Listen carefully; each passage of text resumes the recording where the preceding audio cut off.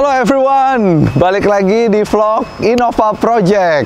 Kemarin gue udah nunjukin teman-teman semua hasil pemasangan stiker yang gue lakuin. Biaya modifikasinya murah banget, cuma nambahin cutting stiker di grill, spion, dan juga di bagian uh, belakang. Sekarang gue bakal nunjukin ke teman-teman semua hasil pemasangan stop lamp belakang dan juga seal plate yang gue lakuin di video kali ini. Stop lamp belakangnya sendiri terinspirasi dari gambar Innova yang ini nih. Nah kan kita bisa lihat nih mobil Toyota Innova kayaknya ada di negara India. Hasil modifikasinya oke okay banget, makanya gue tiru nih. oke, okay, ini proses pemasangan waktu kita ganti stop lamp.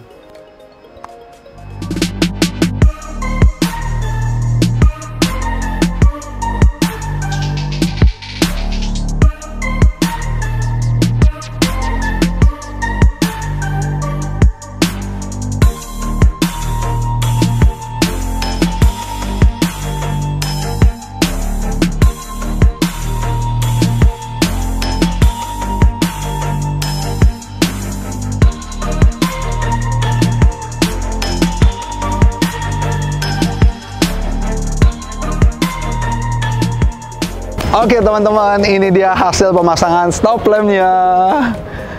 Ini adalah model uh, V3 sequential LED dan untuk stop lamp ini juga ada dua pilihan warna yang smoke black sama yang red.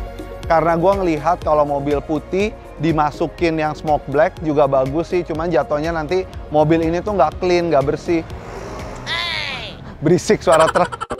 Oke, Sebenarnya mobil putih ini juga bagus dipakein smoke black, cuman nanti hasil modifikasinya tuh lebih kayak black and white gitu kan.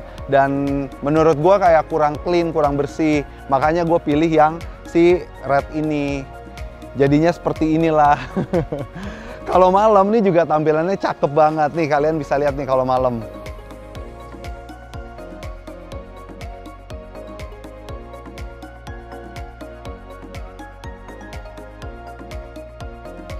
Oke, selain stop lamp belakang, gue juga ngelakuin sedikit pembersihan di sini karena emblem-emblem yang di belakang semua udah gue copotin biar tampilannya tuh lebih bersih. Persis jadi kayak yang digambar ini nih.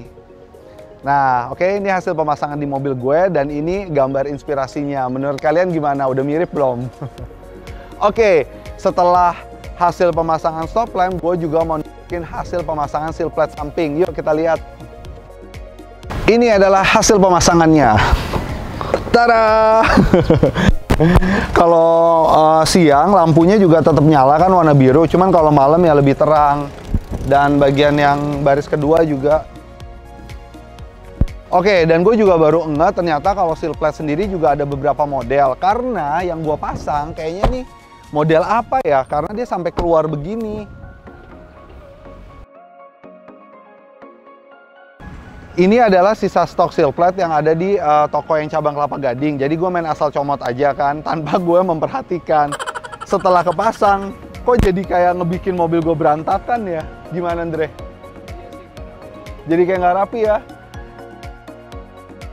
Dari hasil pemasangan stop lamp sama pemasangan seal plate, nanti gue bakal kasih tahu habisnya berapa. Tapi kita pindah posisi dulu nih, pindah ke depan nih.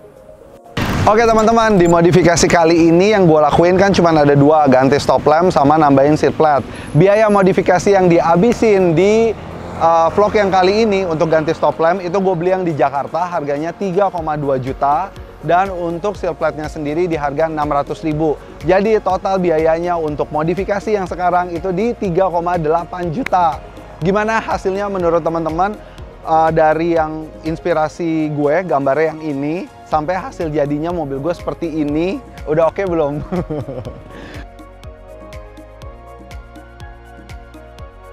Oke, okay, thank you buat teman-teman yang udah nonton video kali ini. Tungguin video berikutnya karena gue ada ganti velg mobil ini.